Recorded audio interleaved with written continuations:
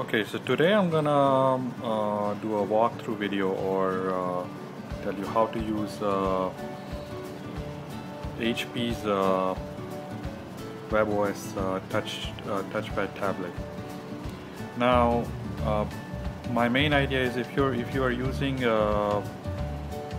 Apple's um, iOS system, then you know this is this is a walkthrough for you in general also you know you'll gain uh, some information because I'm using this tablet for past 24 hours now and uh, it's it's really nice.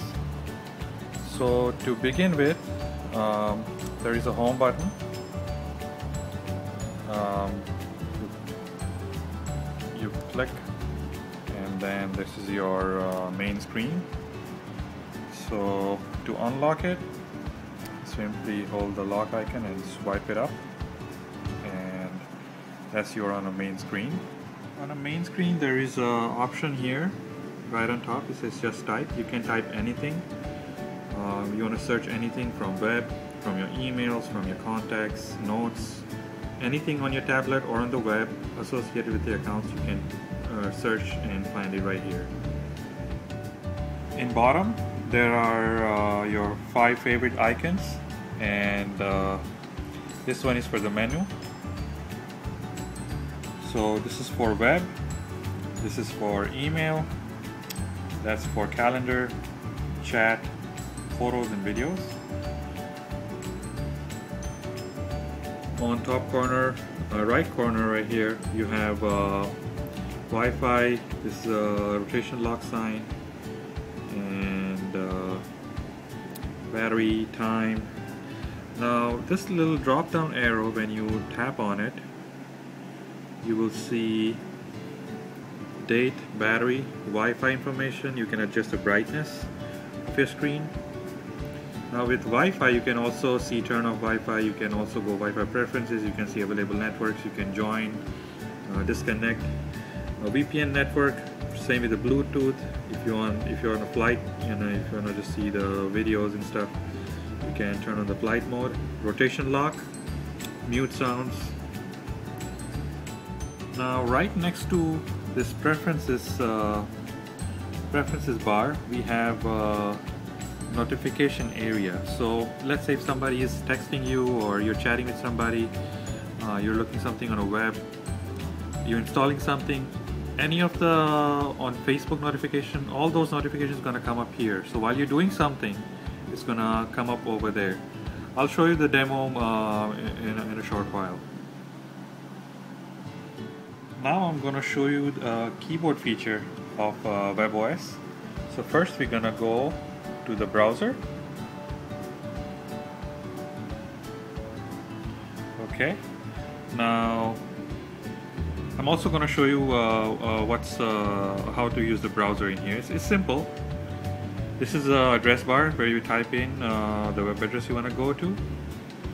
Now this is more like a Mac OS. Uh, you, you can see all the, for each app, you see their related features on the top left corner. So this is a web, so you can see their preferences, uh, print, help, those features. When I open something else, you will be able to see the features related to that app. So this is address bar, back and forward button. This is uh, to cancel uh, if you want to stop any any web page. This is to add a bookmark. This is for a new tab. And uh, this one is for uh, to, to launch a bookmark. So let's just type Google. There you go. I already have it. Google when I tap on it the keyboard's gonna act get activated. Now this has uh, um, alphabetical keys as well as number keys right on top readily available.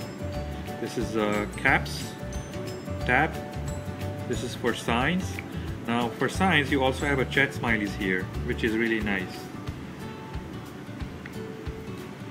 Um, all the standard signs now this is uh, for keyboard hide, this button. if you tap on it you'll be able to hide keyboard. If you want to get back keyboard just uh, go and click on uh, where you can type. Now there is one more feature. You can adjust the size of a keyboard. So you hold on to this keyboard button. You can do large medium small or extra small so if I do large it's gonna cover half area. If I hold on to it go to extra small. So you can adjust the adjust the size of a keyboard as you like. Now I'm gonna launch a new tab. There we are. So we are on a new page. So if you want to switch to your old web page all you have to do is go on a lower right corner and swipe it up. And this is going to show you card. Now these are called cards. Your uh, your multitasking area or your desktop area where you see these apps uh, it's called cards. And if you want if you want to remove them if you want to close them what you do is you hold on to it swipe it up. Hold on to it swipe it up it's gonna close it